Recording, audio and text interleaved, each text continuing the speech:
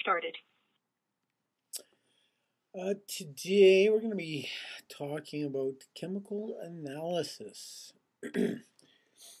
now, analysis can include both qualitative and quantitative analysis. So, both those things based on quality, what can be seen, you know, with or, or observed with the senses, um, and also quantitative, uh, that which can be measured and, and numerically um, quantified. Now, there's three predominant methods to uh, chemical analysis that we're going to be talking about here. Uh, one is calorimetry or colorimetry. And this is analysis based on color.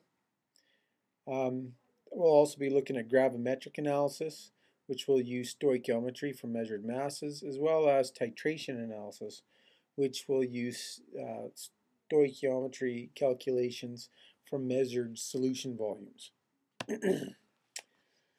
now, with the colorimetry here, you basically have uh, different types of solution colors for different types of ion groups. So anything from group 1, so you talked about your alkali metals, uh, the solution will be colorless. Or group 2, your alkali earth metals, will be colorless. Or 17 uh, is going to be colorless. Now once you get to a lot of the other types of ions, um, in your transition metals, then you will have solutions that do have a color.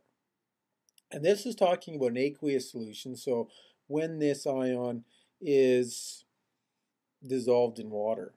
Okay, so it can be an ionic compound which is dissolved in water and producing these ions. Uh, so if you look, take a look at the list, you've got um, chromium plus 2 ion, blue plus 3 is green, cobalt plus 2 is pink, um, copper plus 1 green plus 2 blue. Iron plus 2 is pale green plus 3 yellow brown. Uh, manganese plus 2 pale pink. Um, nickel plus 2 is green. Chromium or chromate, yellow. Dichromate, orange. And uh, manganate purple.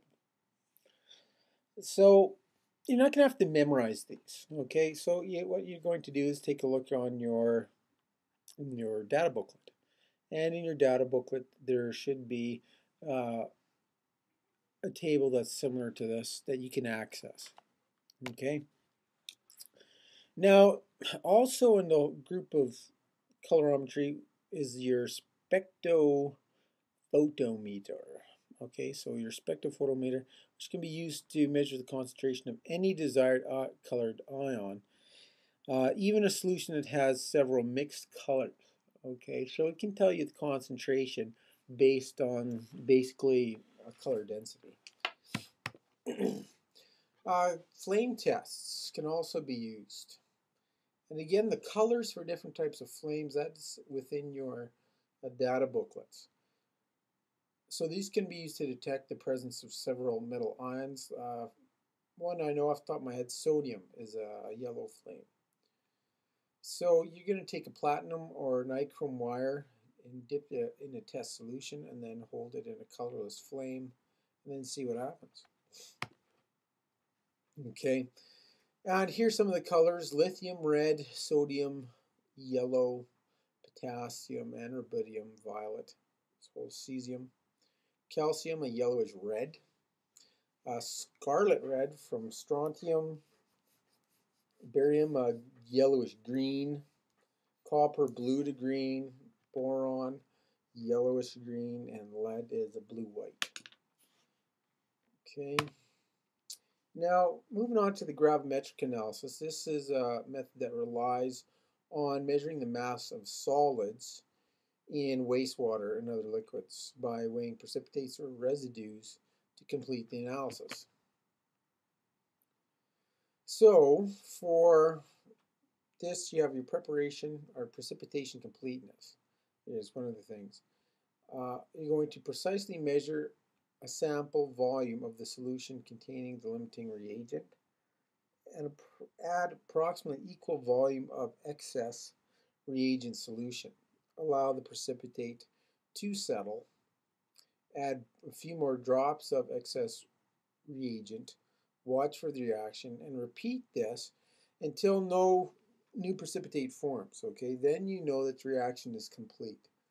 And one of the reagents will have been the reagent that is limiting, and one is going to be the excess reagent. So the one that you keep adding more and more of until the reaction stops, that's your excess reagent. And the limiting reagent is going to be the sample you're testing, basically. Okay. Um, now this uses stoichiometry in a solution, but there's a, a twist. Um, because two, not one reactant amounts will be specified. Now recognizing that one of the reagents will run out and the other uh, does not, or before the other one does, and then the reaction stops, um, means that you have to know which one is the limiting reagent, and that's the one that's going to be running out first. Reagent, okay. So, how do I figure out which one's limiting if it's not specifically, you know, stated? Then you're usually going to convert the two substances into moles. Okay, so if I'm told I've got, you know, 20 grams of sodium hydroxide, I'll find out how many moles that would be. And if I've got, uh, you know, 30 grams of sodium chloride, I'd find out how many moles that would be. And then, once I find out how many moles, then the smaller answer, the smaller amount of moles, that's the limiting reagent. So that's pretty easy. Um, now, oh, there's there's another thing we have to take into account there. If if there are coefficients, all right, then it's not just which one has the the smaller number of moles, because the coefficient will determine how much uh, I will need in comparison to other substances. So once I find the molar amount, I would divide by the substance coefficient in the balanced equation. And then the smaller answer would be the limiting reagent. Now you have to make sure that the molar amount is in the numerator and the coefficient is in the denominator. You get them flipped around and of course you're going to have the wrong answer. So here's the limiting reagent type of question. I have 100 grams of uh, iron 3 chloride and 50 grams of hydrogen sulfide in a reaction. Uh, they're reacting and they give us the balanced equation. Okay, so we're going to determine the limiting reagent. Well, first of all, we're going to divide the number of grams of iron 3 chloride, which is 100, by its molar mass, 162.208, and find out that that is 0.6165 moles. Divide that by the coefficient, and it was 0.30825.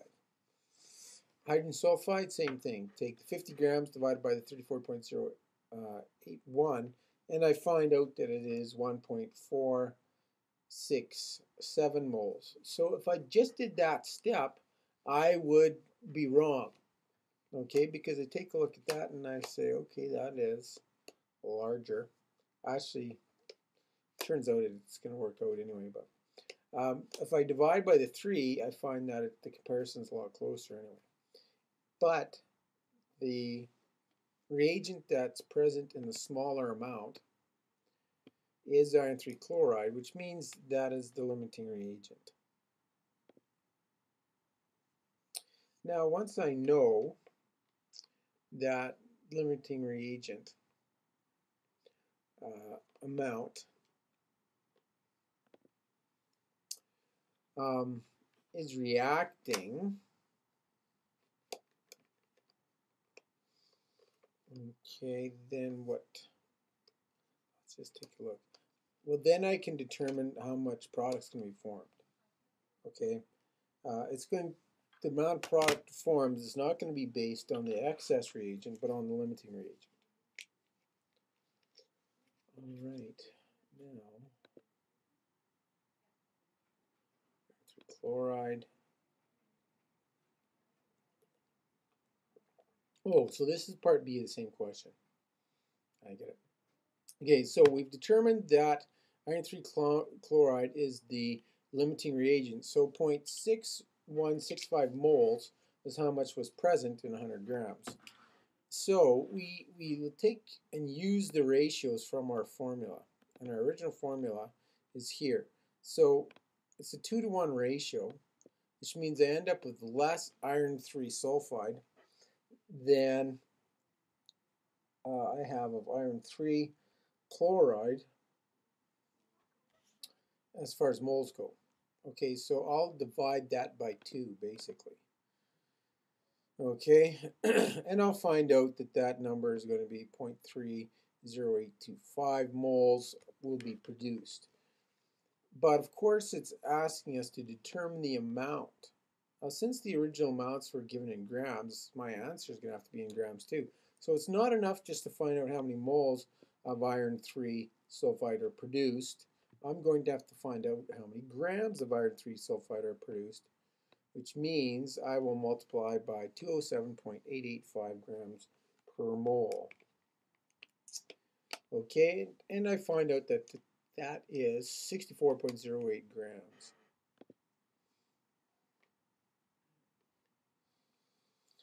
Now, determine the excess remaining.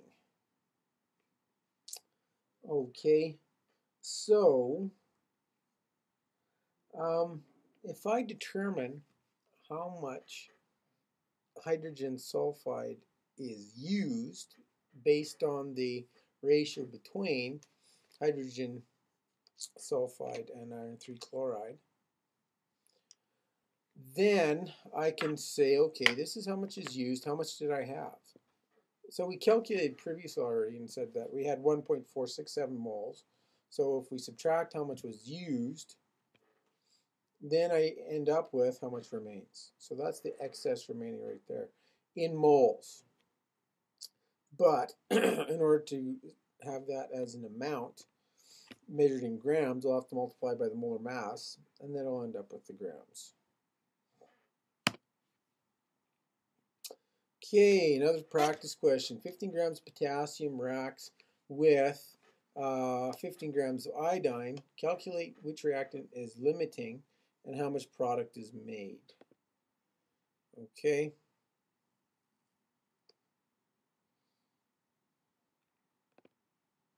So, I'm going to write this down here and say, okay, the first thing we always want to start out with is the chemical reactions. We have potassium, solid, reacting with iodine. Now I have to remember here that iodine is I2. Okay, and it's usually uh, in its elemental form as a solid, so we can assume that. Now what's it going to produce? It's going to produce potassium iodide, but it's going to produce, we're going to balance this out here, yeah, 2 moles, this will be 2 moles here, and this will um, all right, so this is our balance equation. That's what we got to start with. So now we're going to have to access our periodic table as well. Find out the molar mass of potassium. That's 39.10. So potassium equals 31.90 grams per mole. And how about iodine? Iodine is 126.90.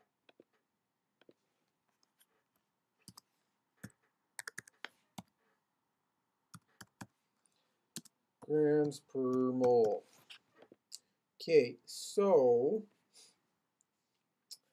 um, 15 grams. what's that going to be? I'm going to have to take the mass divided by molar mass, and that will give me the moles. So 15, 15 divided by 31.90 will give me, so let's see, divided by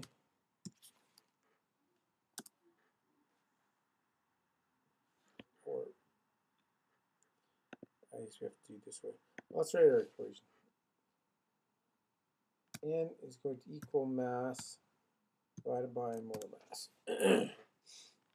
so 15.0 divided by 31.50 give me a 0 0.4702 moles. But now I'm going to have to divide by the coefficient, which is 2, divided by 2. So that will give me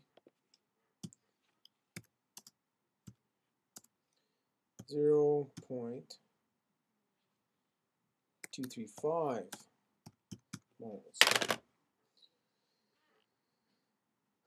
Now we're going to do the same thing here with iodine. Now, actually I2 is going to have twice this molar mass, so I better do that. 126.90 equals, so times 2, 253.8. Point eight grams per mole for I2.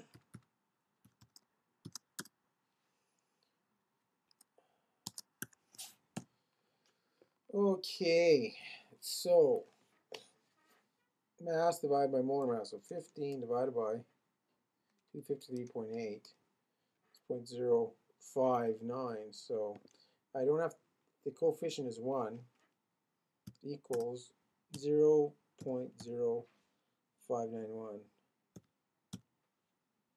So that's definitely lower. So my limiting reagent Limiting reagent is going to be iodine. Okay, so now that I found out the, the amount of, or which is the limiting reagent, okay, and I know how many moles of the limiting reagent there are, I can find out how many moles of product. Well, it says how much product, so I'll find out the number of moles of product first, and then I'll have to find out the actual amount in, in grams. So it's a 1 to 2 ratio. So basically I'm going to take this number, I'm going to multiply by 2. So times 2 using the ratio between um, iodine and potassium iodide. I'll end up with 0 0.118. Uh, 2, let's go that far. Moles. So that's how many moles of potassium iodide are produced. Now we need to find out the molar mass of potassium iodide. All right, so uh, 31.9 plus 126.9 gives me 158.8. So 158.8 um, grams per mole so I'm going to multiply that by my number of moles times 0.1182 and I will end up with, so times 0.1182 moles give me 18.8 grams. And that's how much uh, product will be made. Now finding the amount of excess, once I find out, you know, what the limiting reagent is, so we've figured out how to do that. Um, then you can calculate how much of the excess reactant is going to be reacting with the limiting reactant. And then what's which will be according to the, the stoichiometric ratios, that are present in the balanced equation. But once I've done that, then I'll have to subtract the amount that was actually used from the amount present, okay, from the information. So can we find the amount of excess potassium in the previous problem? Okay. Well, we should be able to. We found that iodine is the limiting reactant and 19.6 grams were produced. Is that what we found out? Hmm. Why do they have 19.6? We have 18.8. I'm going to say they're wrong. Okay. But anyway, uh, not that far off. It all depends how much they rounded, I guess. Anyway, um, if I can find out how much potassium, which I did calculate that out, how many moles of potassium was uh, 0.4702. Now, I do have to multiply that by 2 because that's how much potassium is going to react with point, uh, 0.0591 moles of iodine. now, but I found out how many did I have present there. Oh, hold on. Actually, what I should be doing here is once I found my, my total or my limiting reaction amount, okay, which is this right here, then multiply that by 2, 0.0591 times 2 using my ratios. So that turns out to be 0.1194. So that I'm going to subtract from the number of moles I had. So 0.4702 minus 0.1194. And I'll end up with 0.3508. Okay, so that'll be the amount of excess potassium. But then I'm going to have to multiply by um, the molar mass, which is times 31 9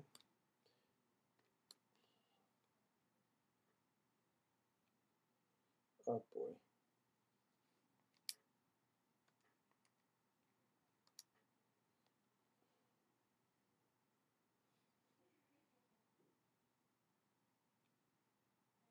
okay uh, my calculator just got cleared here. That's hurting my feelings. 0.0591 times 2. I have to subtract 0.47 2 minus answer. So 0.352 moles. Okay, that's how far. Now multiply by 30. 1.9 grams per mole, and I end up with 11.2 1.2 grams. All right. Um, now there's a second method we're going to take a look at just quickly. Uh, you can recognize the limiting reaction problem because there's more than one given amount. All right. Uh, now you can convert all of the reactants to the same product. It's another way to do it is say, okay, if I have this many moles of this reactant, how many moles of product will I produce? And then I say, okay, if I have this many moles of this other reactant, how many moles of product will I use? So whichever one gives me the lowest amount of product produced will be your limiting reagent okay, and the other one will be the excess. Now to find the amount of excess, you're again going to subtract the amount used from the given amount. Okay, now if you have to find more than one product, be sure to always start with the limiting reactant. Uh, that way you don't have to determine which is the limiting reactant over and over again. Or you don't have to. Okay? and then using the limiting reactant amount present, um, and the ratios from the balanced equation. I can determine, you know, one product or the other product just using the different uh, coefficients. Okay, so 25 grams of aluminum is added to 90 grams of HCl. What mass of hydrogen gas will be produced? Well, we can do it this way, where we find out how many moles of aluminum and HCl there are and then we can divide by, well, then you can see how many moles you're going to produce according to the equation. And you find out that uh, you produce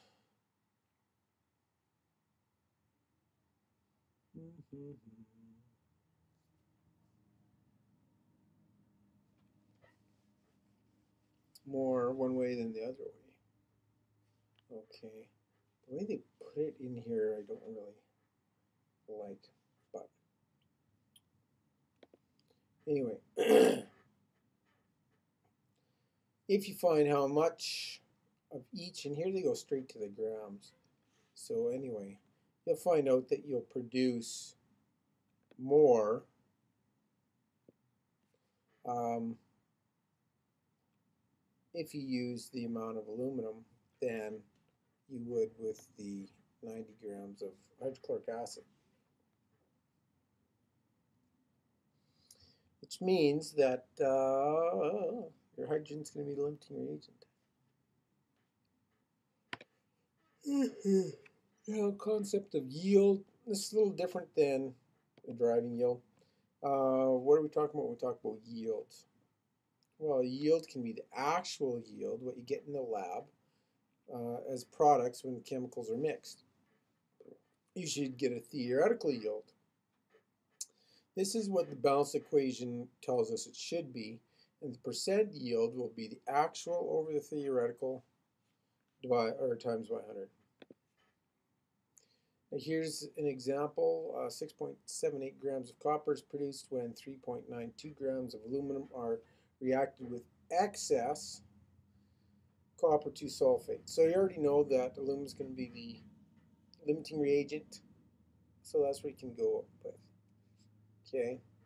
Now it tells us that 6.8 or 78 grams of copper is produced. So I already know what my actual yield is.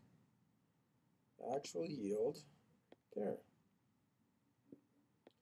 A theoretical yield, I'm going to have to use the amounts given. So 3.92 grams of aluminum. I'd have to convert that into moles. Then use the coefficients of 2 and uh, da, da, da, 3. Is this how many, how much copper is produced? So it's 2 to 3 ratio. Now, using the molar amount for copper, I'm going to multiply by 3, divide by 2, and I'll end up with my molar theoretical yield. now I can convert that into mass by multiplying by the molar mass. Okay, then I will divide, well, the um, actual by theoretical and multiply by 100, that will give me the percent yield. And percent yield really tells us how efficient a reaction is. It can't be bigger than 100%. And theoretical yield will always be larger than actual yield. You never get 100%. And this is due to impure reactants. Uh, there can be competing side reactions, a loss of product in a filtering process, or transferring between containers and also it could be measurement errors. Okay, so that basically covers what we want to talk about today, uh, different types of chemical analysis, the colorimetry and the stoichiometric analysis involving solutions, and we also talked a bit about theoretical yield. Okay, so once you listen to this tutorial, make sure you um, create and submit a tutorial summary. Have a good day.